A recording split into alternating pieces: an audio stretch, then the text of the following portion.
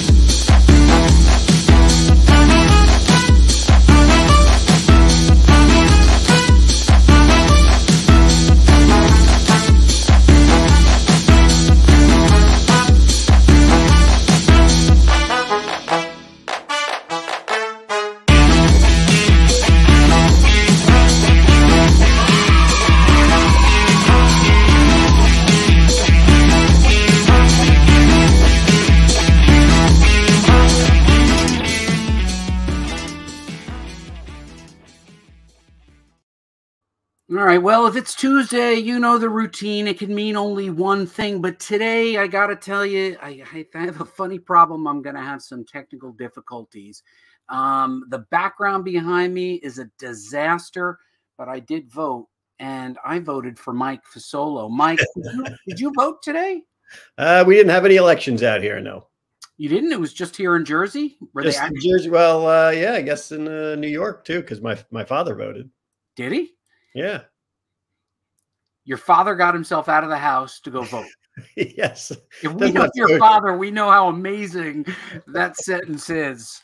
Um, but I did. I voted. Uh, so whoever you would have voted for, I voted opposite, and we negate each other out. Well, there you go. It's a, it's a nice balancing act. We sure do have a good balance. We actually have a pretty good show. I use the word actually because I'm aware that not all of our shows are that good, Mike. What? How dare you? How dare thee with me? Um, if I blink out at any point, the show is in your hands. Oh, that's that's not a good that's not a good thing. Mike, your robe looks a little disheveled. It's like uneven. There you go. and then are it just look- slowly drifts. Down. Are we actually looking at your own undergarments there? Like what's going on? No, that's just a regular t-shirt. That's the regular t-shirt. old t-shirt because you know it's getting colder out here. Yeah. what, what does it hit there? It's probably down to about I think it was 71 in the house today, and I had to put on the robe because I was cold. 71. how do you, how do you do it, my friend? How do you do it? Do you do it just for us to make sure that we're good? Yep, yep. Well, so Mike, we have a show tonight. In this show, we will talk a little bit about a cover breakdown. We have a what should Mike Fasolo watch episode oh. because you failed to give me a trivia, and that means you have to watch a movie of the selection of our community. I'm sure you trust them. I know that they will always do a good job for you. And um, I also will be. I'll give you some announcements this uh, this show, Mike. Uh, the next two weeks, our former uh, Wizard colleague and uh, friend of the comic book school, Michael Dolce of Sire Studios, will be subbing in for uh, me and you. We're going to take two weeks off, Mike. I know it's always nice to have a vacation, especially a paid one. That's right. We continue to make money while we sleep here on the uh, the advertising dollars that Roy. Do you know you know that like if we hit a, th- a certain threshold uh, of YouTube subscribers, we can indeed um, get uh, ad supported dollars. Yeah, we just have to hit that threshold, which I think we're quite far away from. We are very far away from, but you know what? We're glad for every one of you who joins us here. And Gatilla's on. I've watched some real garbage stuff, Mike. well, I'm looking forward to the truth. He's he's not sugarcoating it for you. Thank you, Glenn. All right, Mike. So uh, today we're going to be talking about covers with impact, and we're going to be focusing on the Incredible Hulk, but also the Incredible Hulk versus somebody else, or the Hulk being the Hulk. And what I'm going to show you are some great covers of the Hulk, and then we will draw our own cover of the Hulk at the end. We've we've we've we've done a little bit of pre homework. Um, these are classic covers and fairly close to what I might have drawn if I were given an assignment from my Marvel editor Hulk versus somebody else. And the mm-hmm. reason I like these was because it did show that the Hulk was always bigger, always scarier, and yet our hero was not backing down from the fight. What do you think, Mike? That's that's good. You don't want to back down from the Hulk. Right. Like, you know, you look at Thor. He's like a he's a a tanker level hero. He's got really all the superpowers. Uh, but the Hulk towers over him. I mean, just look at the size difference of that Hulk's foot versus Hulk's toe versus Thor's entire foot. And then we see Bucky fleeing, but he's actually luring him toward Captain America. I, I find these to be two great covers. Uh, I'll get into it a little bit more. Any any final thoughts to add on on these two? Well, Hulk is Hulk is always scary because he's he's you know obviously super strong, and as far as I know, he uh, he really can't be beaten. Like, how do you how do you beat the Hulk? Uh, it's true, and then that you know you can see Hulk has always got an angry look on his face. His fists are always clenched. Uh, these are iconic. It, I, would like to note that uh, we'll get into this a little bit more. It is very important in any of these stories to show the heroes using their powers, looking heroic. Nobody wants to see them in a coffee shop. and yet so many comic stories have people in coffee shops and I, I i just find it stunning unless there's an irony or a purposeful juxtaposition it shouldn't be there maybe maybe hulk just wanted some tea maybe hulk wanted some tea. Um, but unless it's purposeful ironic uh, or something i'm going to show you two more covers. Um, the one on the right um, this is one of my Grail covers. Uh, I bought this uh, for a ridiculous amount of money um, because when I was growing up as a Ute in New Jersey, as a Ute in New Jersey, this was hanging on the wall at the comic book shop, which I should note was in a dirty, dilapidated shopping mall next to a head shop. Mike, what's a head shop? Do we? Do people know? I have, I have no idea what a head shop is. Head shop was a place that sold uh, drug paraphernalia, but not the actual drugs.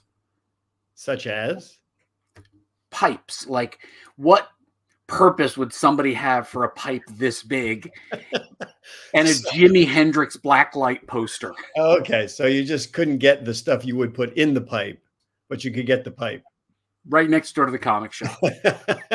Literally, they got a built-in audience, right? There. Right. They were selling black lights and and uh, all kinds of like you know weird things and and uh, rolling paper, but not the marijuana that went in the rolling paper. Uh, and this was long before the legalization of any of these. Uh, hold on, unless you knew somebody and if you were cool. Uh, cool. I'm not sure if he's talking about the headshot or, or what, but Oh wait, uh, that he had. He said, honestly, I think the Hulk is jealous of Thor's hair. I mean, that is a crappy haircut. Yeah, the Hulk has never really had good haircut. That's probably why he's so angry half the time. He is. They they were. You get the stuff for the pipe, right? And then uh, Philip Burnett, who I should note, Mike, is a, uh, a very talented artist and a very uh, a very nice guy. Uh, I'm glad to see him on the show. And he knew that the head shop had smoking accessories because if you bought a a like a, a, a, carton of Marlboro, they might not have the paper inside. Why did they call it the head shop though? Uh, there's probably some sort of feed your head reference. Uh, that Weird. yeah, we've really gone far afoul of where I wanted to be with this show. So I did buy this cover. I have never. Oh wait, he, so they were called water pipes for smoking tobacco, good sir. Oh well, if it's good sir, then water I, pipes. I feel like he's tipped his hat to me, good sir. his bowler head. Well, because of Bob Marley. I don't even know. Is that like a full sentence? Just Bob Marley? Yep. Sometimes Philip, if you meet him in person, he walks in and he goes, Bob Marley? and then he adds, I have no idea. All right. So I bought this cover, Battles the Inhumans one of the things I loved about it was Hulk interacting uh, with the title. I always thought that was tremendous. The Hulk under great strain, but I also love the color where you know you go from yellow to orange to red to purple to mix in the green and the white. This cover always blew me away. It stands continually as one of my favorite uh comic book covers ever but i never read the story inside. What? I don't, know, I don't know how much i spent. It was it was a sizable amount of money when i bought it. I remember buying it thinking what am i doing? And then i never never once read it you never opened that comic. I just wanted it for the cover.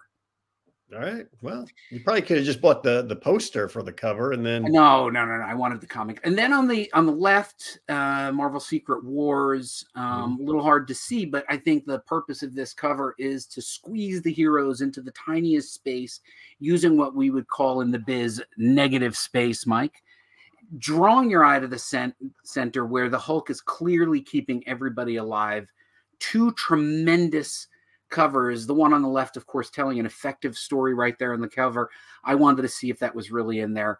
Uh, I have this issue. I've never read it either. I bought it because I want to see if it's in there. I love the cover. I think it's a great cover. What do you think? Well, I think it's definitely great. I mean, it's it's funny that he's beneath 150 billion tons.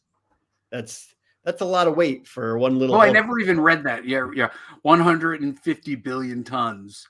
Where they couldn't have just put 100 tons, or even just 50 billion tons. They should have put 151 billion tons. That would have made it even more dramatic. And he's not happy. Okay, so uh, here, just Hulk is showing his solo hero hero potential. Um, my uh, mouse is stuck. Am I stuck? Nope, you're not stuck.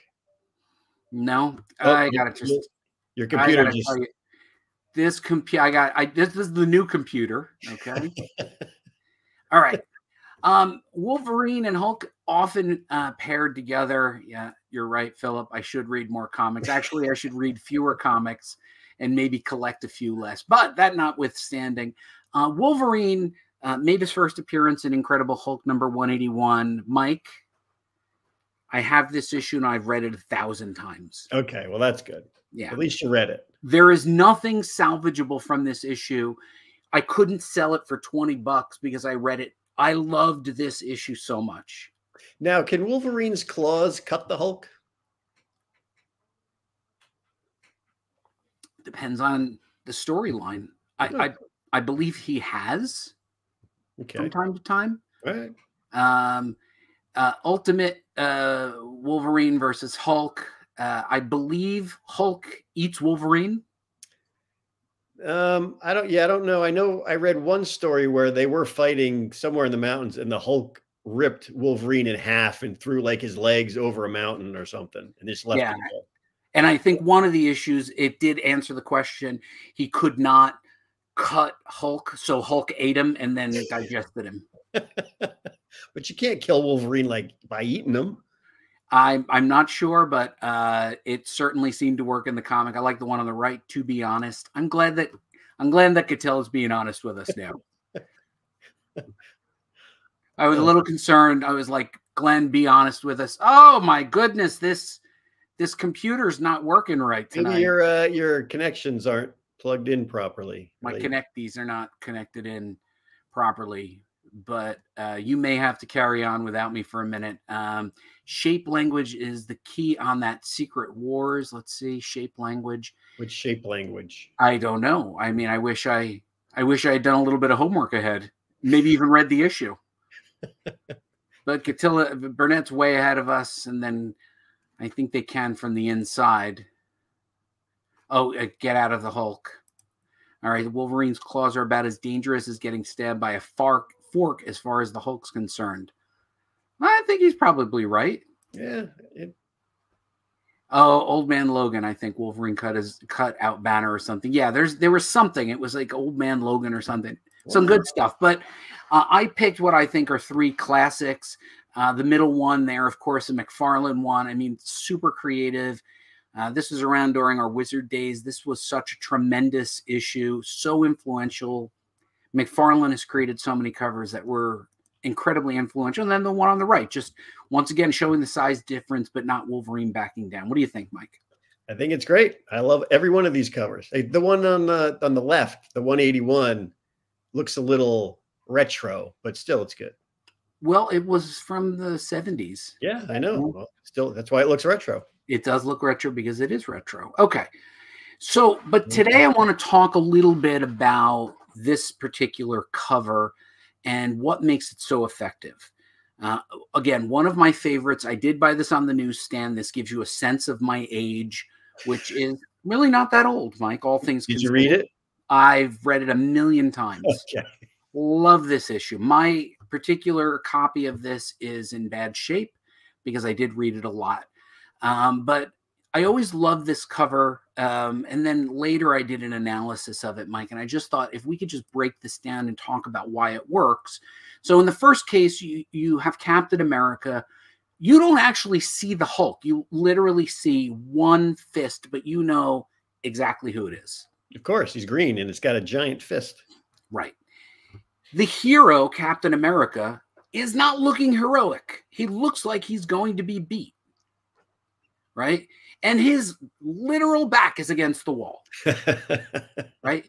So uh Burnett was talking about the visual language. Well, one of the visual languages of comics is that we our eye tracks from the left to the right.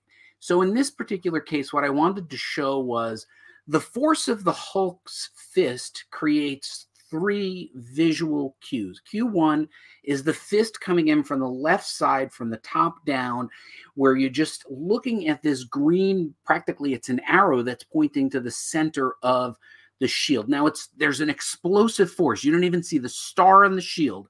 It's an explosive, powerful force that literally continues down. Your eye then shifts a little bit over, not the exact same trajectory, but to Captain America's eyes. Now, one of the most important things that we need to know about characters with uh, putting them on the page is we as humans look into each other's eyes. We look into the character's eyes to get a cue. Captain America's clenched eyes tell us what we need to know. That his teeth right now are not smiling. No. Right? This they're, is they're, he's in he's in fear. Right. He is legitimately afraid this could be his aim, his end. Now, the, the, the theory behind the Z pattern on a page is that we read in a Z pattern that you could, we'll get into that in another show. But the key thing on this is a great comic will almost always lead you to the bottom right hand corner of the page, which theoretically is where you would turn the page. Mm. So hmm. the eye draws down to the sentence then came the Hulk. So if somebody were new to comics, didn't know who this character was, A, they would be intrigued. B, they would say, why does he have a green fist? But for those of us who knew who the Hulk was, we were like, this is going to be a great fight. I'll pause there. What do you think, Mike? I think that's great. And and I would have never guessed that you they uh you know, the artist draws it so your visual acuity goes through his eyes and then down to the corner to turn the page. Some do.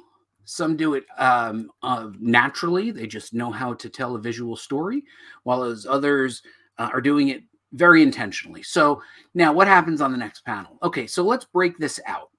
Now, if we were to strip away everything, the backgrounds, the the trade dress, the title, what you see here on the right is a pretty effective once again, it's an arrow, but the important thing now is you can really see that in the center of the image is the shield. This is the point of conflict. This is the point where they both clash. Hulk, clearly his fist is almost as large, if not larger, than Captain America's head, and his shield is quite large. But the point is on the right, when you strip everything away, you can see that this literally draw, drawn a bullseye in the middle of the page where the two of them meet in the conflict. That's pretty neat. Pretty neat. Now, let's go one step further, Mike. Let's take a look what happens. Uh, oh, I just zoomed in because I thought it would be nice for us to be able to discuss it together. While it zoomed in, any thoughts on this, Mike? Well, I think it's, I mean, I would like to know if if he did all this just instinctively after being an artist for so long, or if he planned it out like you're saying, let's draw the reader's eye right to the center, and that's where he put the shield and then everything else. Well, it, you know, there's any number of things that you know we can ask these creators, and sometimes they'll remember, sometimes they don't. Uh, so, uh, Burnett, can you read this while I take a little sip here, Mike? Sure. ahem. Shape language denotes intensity in this, much like the Secret Wars cover. Cap's face is crunched between his shield and a brick wall, with the Hulk's fist adding to the pressure. Wow. Wow. Burnett's smart too, huh? Yes. Yeah, I like how he drew our attention to the ahem. Ahem. And then he added one thing. The bullseye is spot on. Yep. That's right. Uh, and I voted today. All right, Mike, we got one more uh, here. So we've zoomed in. Uh, we can see that this, even as a standalone image, works. You yeah. don't even need to have any of the words. You know from this image that if this is the story inside this book, if you like this sort of thing, that's what's going to be inside. Yeah, you're opening it up and reading, finding out what's going to happen. Or not. You know, if you're looking for somebody in a coffee shop, you're not going to get that. that's that's true. Perhaps. Perhaps. I feel like I've frozen. Oh, I unfroze. Burnett. Oh, I'm glad that we we've reminded him of his civic duty. Go vote, Philip. Go vote. He's got to go vote. Okay. So last uh last uh, frame, Mike, I want to show. Um, I did want to point out that when you look at this image, the important thing to note about the background is that it doesn't distract from the foreground. Too many artists, colorists, anchors will put equal weight on the background. What you want the background to do is accentuate and give you placement of space and give you a sense of where you are. In this case, you can see that it went pale yellow. Now, if you were to think about the primary colors, we had a very saturated red, very saturated green. It was important for that yellow background to fade out so that the foreground would pop to give the illusion of depth. Hmm. Interesting. Yeah. So so we told Philip about his civic duty. Uh, I should I should note I told Philip about because you didn't vote, Mike, right? You don't even I, vote. I did not vote today, no. So Burnett, thanks, buddy. That should be. All right. So, uh, Mike, uh, that's why this stands as what I believe to be um, not just a, a, fantastic Hulk cover, but something that is a great uh, tool for teaching how uh, to get effective visual storytelling. Am I getting feedback? No, I got I got it dinged. My my you got dinged. Dinged, yeah, texted. It makes oh. the ding noise. So as I was wrapping, as I was pulling all of this together into a coherent narrative, you you decided that that was a good time for. I, I didn't decide to send myself a text message. Someone else did. it wasn't up to me. Ah, man, I, there's no respect here. But you know what? um, so, do you think we should do more stuff like this, Mike? Do you like this? I, I think we do because this is all stuff that I never, never like thought of.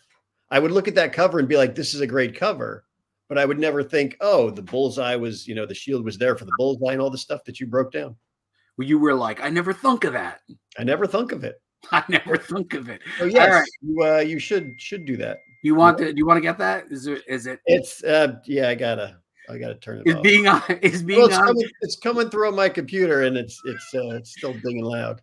Being on uh, on a live show, getting in the way of your texts. Okay, Mike. Uh, as I said, Mike Dolce will take over for the next two weeks because uh, next week, um, me and some of my comic book friends are heading out to Morocco, where we will bring comic book school to Casablanca. There is wow. the uh, International Children and Youth Book Fair in Morocco. And we will be going there talking about comic books, how comic books are made.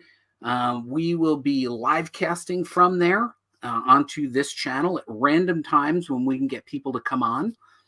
Uh, but we will be teaching the craft and business of making comics about how to make a great cover, how to tell a story on a page, how to format your script, and we will be doing that in Morocco. That's that is quite impressive. You didn't know that? I did not know that. I thought I told you that. So uh, I, it'll be me, our friend Darren Sanchez, who uh, Yep, Darren. Uh, a lot of people forget Darren is a, a, successful writer as well as a successful editor and publisher. Uh, so he will be there. He will be teaching uh, classes. He'll be talking about what it was like to be a Marvel editor, and we, he will be helping me to interview uh, fellow creators who will be here in the United States and will be bringing them into Morocco for the first time via live stream. That is quite impressive. Quite impressive. Quite impressive. Casablanca. Are you gonna Are you gonna react out uh, the Casablanca movie? I will, and we're gonna go to uh, Rick's Club American and. and then Sean will be with us. Uh, Sean, uh, who comes to every comic book school every year uh, at New York Comic Con. He'll be bringing that pencil and doing the pencily things that he does oh so well, and who's been on our show. I can see from the background he now has sixty-one thousand followers. That's a lot of followers. my goodness, a lot of people know and love uh, Sean Chen. Ah, Beachside Buddy. That's right. Hmm. So you're not going to be live streaming from Morocco?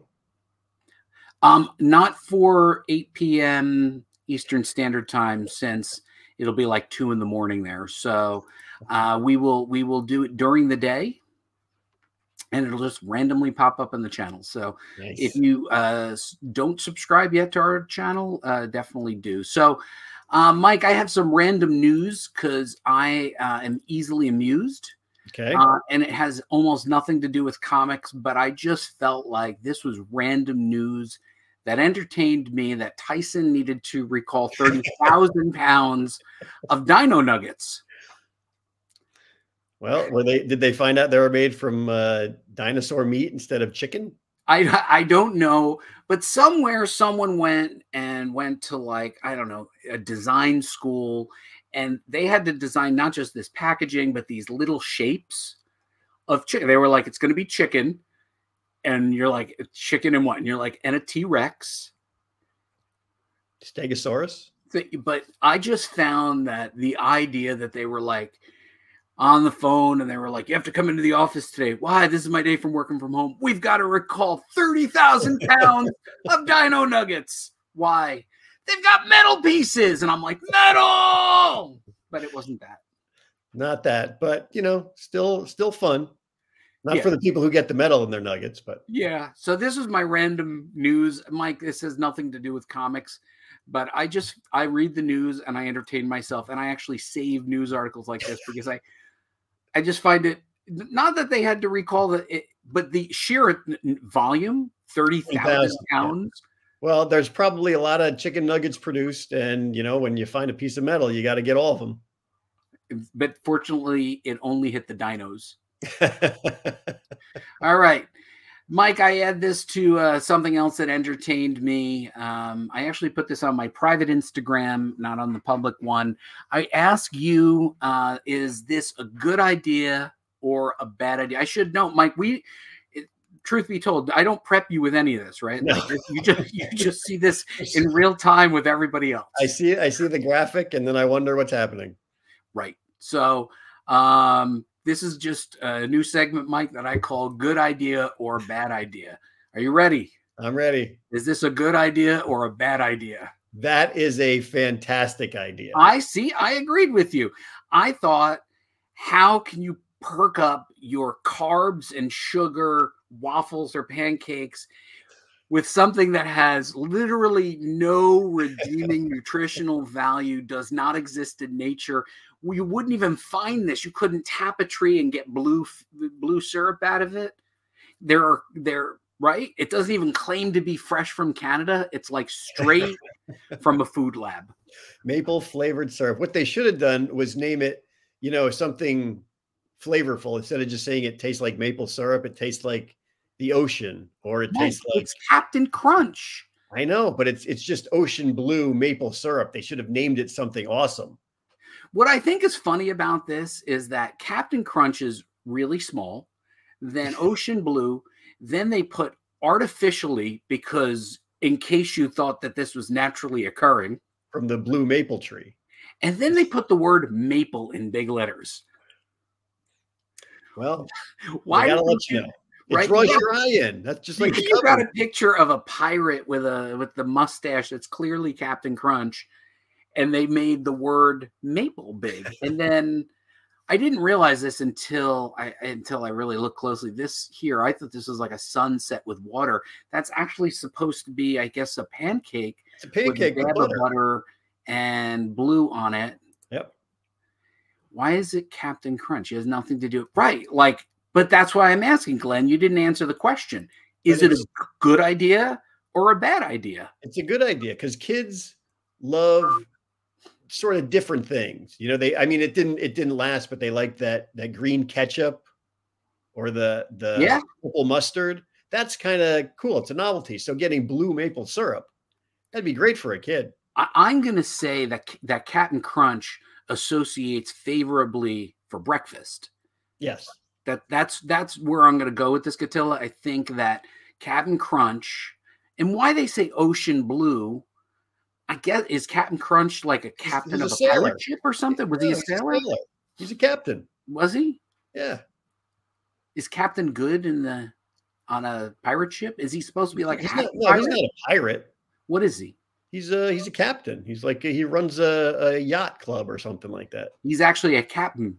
Yeah, cap All right, so Mike, uh, I'm going to give this uh, a thumbs up and say this is a good idea. You, what's your vote? I absolutely give it a thumbs Two up. thumbs up. I hope people uh, add their thoughts in this, and then also uh, because Mike, you unfortunately failed to give us. Oh wait, hold on, Catilla. Wait, Burnett says um, he's part of this balanced breakfast. I I think I think Burnett's onto something. You have a bowl of cereal with Captain Crunch uh, as your side dish, like a soup, and then your main your main entree is that glob of uh, butter and the bleeding blue uh, yeah. ocean, and then insulin. Right, that's, that's the kind of breakfast that I would like. Right, and um, very small part. Right, like like you you would you might have um like a uh, like a slice of an apple or something as well. No, that's that's no. You don't want to you don't want to fill yourself up on things like that. Yeah. Uh Gatilla says he's a sea captain. Yeah. All right. a yacht or something. Uh-oh. Uh, so Gatilla's already jumped ahead. So I'm going to just jump ahead. What should Mike watch? Uh, Gatilla, you want to read Gatilla's statement? Uh, so I think Mike should watch Hobgoblins unadulterated by MST3K. I like MST3K. Uh, just the movie. Range 15 is bad, but I don't hate Mike. If you won't find Hobgoblins, watch Glenn Danzig's Verotika. It sucks. Wow. Okay. Wow. I've never heard of any of those. I feel like he was hitting the keyboard hard when he wrote it. Just feel like the key. Oh, by the way, Mike, we I forgot we um we did um let's go back. Let's go back. Um, we also drew our own. So here's what we're gonna do. Uh, I'm I'm gonna go first. I'll pull mine up first, Mike. Uh, okay. We we each. oh, I'm about to lose connection. You might have to hold yours up first. oh. Because there goes my computer. There's something wrong. I have one of these. Yeah, I got one of these USB C connections. One of your wires is is uh, floppy. Wires are loose. Uh, am I still connected? You're still there. Are you there? I'm there. All right. Well, why don't you hold yours up because mine isn't moving. Oh, hold on. Let's let's go big on this. So I asked Mike. I said if Mike were to draw his own Hulk versus Captain America. So you got Cap hurling the shield at the Hulk, clearly larger with a fading point perspective, plenty of activity on either sides to show the buildings, a car off to the side, a car here in the extreme foreground. Uh, Mike, I have to say, you told a pretty effective story. I would want to read this. Yeah, it seems pretty interesting. I, I like pretty neat. All right, so I'm going to show you what I would have drawn if uh, Marvel had asked me, what I would have done is this I would have gone uh, full on uh, Hulk with Captain America on his knees, not giving up throwing a punch toward the Hulk, but uh, the Hulk clearly dominant. Uh, not all that different from what we saw, but I think the one that we saw, um, I would have to say, is much better. Just a little bit, slightly. Right, but I would have chosen a not exciting pose, and you would have chosen an exciting pose. Oh, we're going to lose me again. Here we go. Yep, you're still there. Yep, I promise that uh, next time we will we will not do this again. All right, so that was it. I hope everybody enjoyed our art. Uh, here's what I'm going to do, Mike. I'm going to jump ahead past our random news. Good idea or bad idea? We know that's a good idea. So, Mike, here are two movies, and I hope that the audience uh, weighs in uh, to give us their choice. I find them equally exciting for you, but please wait for both before you uh, vote and tell us which Mike should watch. So, Mike, um, the first was a classic. Breakin' was a complete off the hook classic, game changer. Uh, I, I I don't say that as a joke. Breakin' was a huge movie. It was, and huge. it changed. Um, why was Cap fighting an alligator? That's it's easy for Burnett to say because Burnett can draw, right? Because Burnett can draw. So it's all fun and games when we're on Burnett's territory because he can draw. I'd recommend Willy Wonka, Willy's Wonka Wonderland with Nicholas. It sounds like a like a porn twist title, doesn't it? Willy's Wonderland. Uh, I've heard of that. I think that's. I don't know if it's a horror movie, but I think it's supposed to be like a weird paranormal thriller kind of thing. Maybe it sounds dirty, doesn't it? It sounds like one of those double entendre. Well, then I definitely watch it. Philip Philip claims to be sorry. Of course, the guy. He, the guy can draw as he's laughing. Yeah, he's a professional artist. He's getting paid to draw, and like he, he's he's beating me up, Mike. He's beating me up. That's all right. But maybe Burnett will have to do it like a like a like a group watch with you, Mike, a party watch. Uh, but Breakin' was an important movie uh, but then they, I think, potentially went one step too far because then they had Breakin' 2 Electric Boogaloo. It was a money grab. It was a it money grab. And you can see, Mike, look at that cast Ice T and uh, Shabba, Shabba-Doo. Yep. I don't know, Shabba-Doo. Shabba-Doo. It yeah, he's, not... the, he's, the, he's the Electric Boogaloo guy. Oh, it's an actual film. The other one uh, being Willy's Wonderland. Some there is some enjoy to be had with Willy Willy's Wonderland, and Philip ensures us that it is not a porno. Um, I'm not sure if I would if I would like put that on my my pull list. No, no pun intended. Willy's I would. I would not put that on my pull list because I think I wouldn't want that to be found if I died suddenly. They'd be like, "Why is this on his pull list?" Ice T was pretty hip in the day. Ice T still pretty hip actually, and Ice T doesn't look much different, does he? Uh, no, he doesn't look much different this at all. This movie was what, like 1984? He doesn't really look much different. Yeah, he's done well for himself. Oh, look at Darren Sanchez. Hey, Darren. Darren Sanchez. Oh, wait, hold on, Darren. If you just came on, hold on. Let's just show. Oh, look at that. There's Darren Sanchez. Hey, Darren. Hey. Going Morocco. Hey, Darren. I'm sure people love watching me flip through the same slides over and over. Okay, so um, you can either vote for Mar- Mike to watch one of these two movies. Darren, uh, Eight Legged Freaks is not on that, but Slotherhouse is. it is. It is about a murderous sloth and it's a play on the words slaughterhouse. Do do I get to vote or no? I just got to take what happens. You got to take whatever comes. Uh, Psycho PG Psycho Goreman. Everyone needs to watch that movie. I will put it on the list.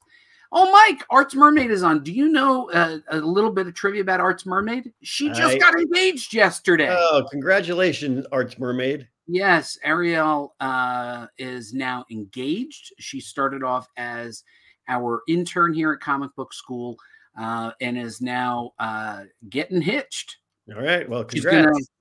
She's going to be getting hitched in a big ceremony and all, all kind. I don't know what she's going to have a big ceremony, but she is engaged. So, Mike, uh, Slotherhouse, new movie. Uh, and I do note that if you look along the right column here, you can see where these movies are available. You can okay. see they're in Hulu, Amazon Prime, Vudu, Max. And then uh, you can watch this on Hulu, which is where it's in my queue. Okay. Honestly, it really is in my queue. Apple TV, Redbox, Vudu. Uh, so uh, looks like Burnett's already uh, weighed in. Slotherhouse might be slightly more bearable than Breakin' Two.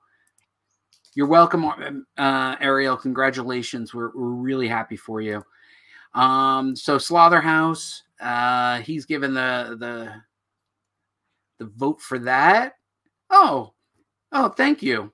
It was my birthday. Hey, happy belated birthday. Thank you so much. Thank you so much. All right, Burnett adds if Breakin' Two had Sinbad, it might be a different story. It's true. But how would it be a different story, Burnett? Would it make it the one you'd vote for or the one you didn't? I think if Sinbad was in it, you'd have to vote for it. Sinbad was in it.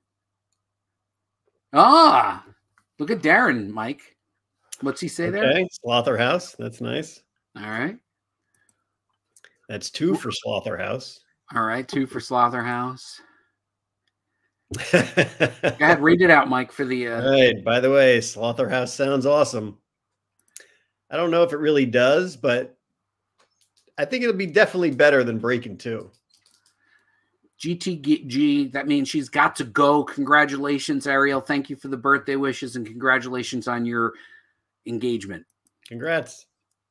Just like Kazam. All right, Mike, uh, did you tally? Yeah, two. Two for Slotherhouse.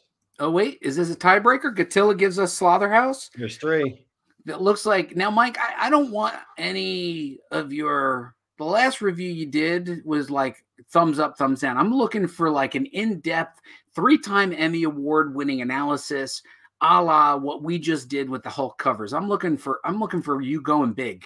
All right. Well, you got to give me some time then to uh, to lay everything out. I'll be in Morocco for two weeks with Karen, so we will we will we will give you your your time and uh, fresh reminder uh, in the next two weeks as uh, Darren Sanchez, Sean Chen, and a whole host of other amazing creators descend upon uh, the Morocco Book Fair. Um, we will be teaching uh, the the craft and business of making comics internationally. Uh, we've uh, prepared a, an amazing list of guests and an itinerary and again, uh, stay tuned on the channel because we will be uh, having shows Tuesday at 8 p.m. over the next two weeks. Uh, Mike Dolce uh, from Sire Studios will be putting on two great shows, but randomly we will be popping up and interviewing creators uh, live from Morocco. Maybe we'll get some uh, Moroccan audience and bump up our subscribers. That I'm I'm hoping that we get a little bit. Um, Burnett says there seems to be unanimity here. Mike, we better get a dictionary because I'm not even sure what that means. I gotta I gotta write Slotherhouse down so I don't remember. Don't yeah. Forget. All right. Oh, Gatilla wants to know how the movie will hurt you. Uh, Burnett says uh, Buddy should watch Slotherhouse so Mike has someone to commiserate with. Um, well, it's in your queue, so you're going to watch it anyway. I'm thinking uh, we should all watch it with Mike so we can all commiserate and then Darren, a Casablanca podcast will be 10 30 noon Wednesday through Saturday. Doesn't that kind of just sound cool? Casablanca podcast. Casablanca. Ah. And I froze again. Did I freeze? You're not frozen. Uh, because it freezes for me. You froze, but thank God. And then the, then the monitor will blink out and then it blinks on. So I, I think I have to find a, a new USB. Yeah, yeah, you got a loose connection there somewhere. I got a loose connection, but not something that you could really fix during a live show. Um, all right, where are we? Did I? Hold on. Yeah, that worked out well. All right, Mike, talk amongst yourselves. All right, there we go. Next two weeks, special guest host Michael Dolce. Don't forget to tune in. Yeah. Well, Man, my, my monitor really froze, huh? Uh-oh. Are you are you seeing nothing? No, I'm seeing uh, something.